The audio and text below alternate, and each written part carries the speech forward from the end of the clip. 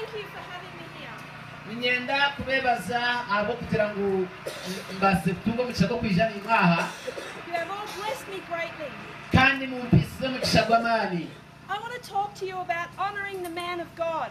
ninyenda kugamba nimwaha kikwatire n'okuheereza omushaija waranga ekitiinisa God has blessed you with a wonderful pastor. ruhanga abaheire pasita murungi You need to respect him mumuheereze ekitiinisa as much as you respect your parents nk'okumukubaasa kuheereza ekitiinisa abazaire banyu because he is your spiritual father. ahabw'okuba niwe tatiimwe w'omwe- w'omwoyo As you honor your parents, kandi waba nooheereza so ekitiinisa you honor the man of God. nooba waranga ekitiinisa You must honor the church of God, nooteekwa kuheereza ekanisa the house of God. enju ya mukama Then you must, of course, honor God. Deeru oheereze rihanga ekitiinisa These things are so important.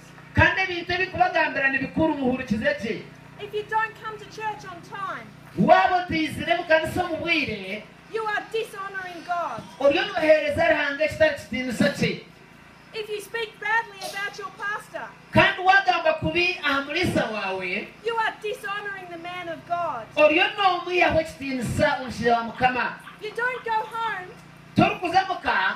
and talk to one another, this is bad, this is bad. okaza okataho orugambo pasita ogakozire eki na kiriya n'eki ni If someone comes to you and does that, omuntu ku yakwijaniye bakakikora you tell them, be quiet. omugira oti hunamira aho otari busha That is my pastor. ogwo n'omuliisa wangye We cannot dishonor our pastors. turikubaasa kujooga abaliisa baitu God has put them there. Ruhanga akaba tawalina ekigendererwa You are dishonoring the man of God, the house of God, and God by putting the pastor down.